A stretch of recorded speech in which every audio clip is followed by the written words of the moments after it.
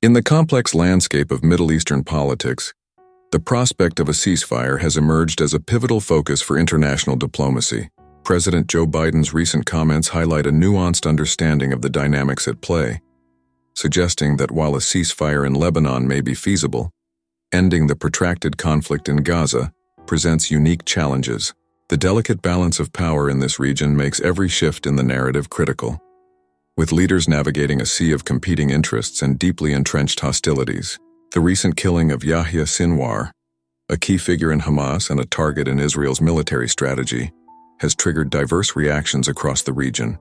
His orchestrated attacks from October 7th thrust the conflict into the public eye, igniting renewed urgency for resolution.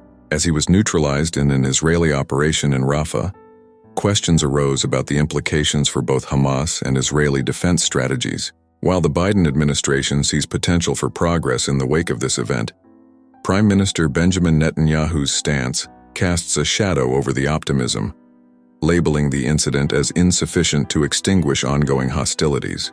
In a stark contrast to the mixed reactions from political leaders, Hamas has sworn to bolster its commitment following Sinwar's death.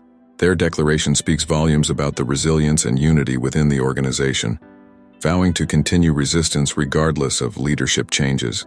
Meanwhile, the humanitarian crisis in Gaza intensifies, with health reports indicating an alarming death toll of 42,500 as a direct consequence of the Israeli military offensive. This grim statistic underscores the dire need for diplomatic interventions to alleviate suffering.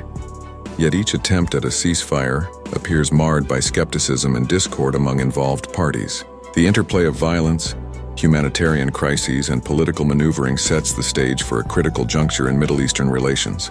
Biden's efforts signal an attempt to craft a multilateral approach. Yet the entrenched narratives and realpolitik dictate that achieving peace remains a complex challenge.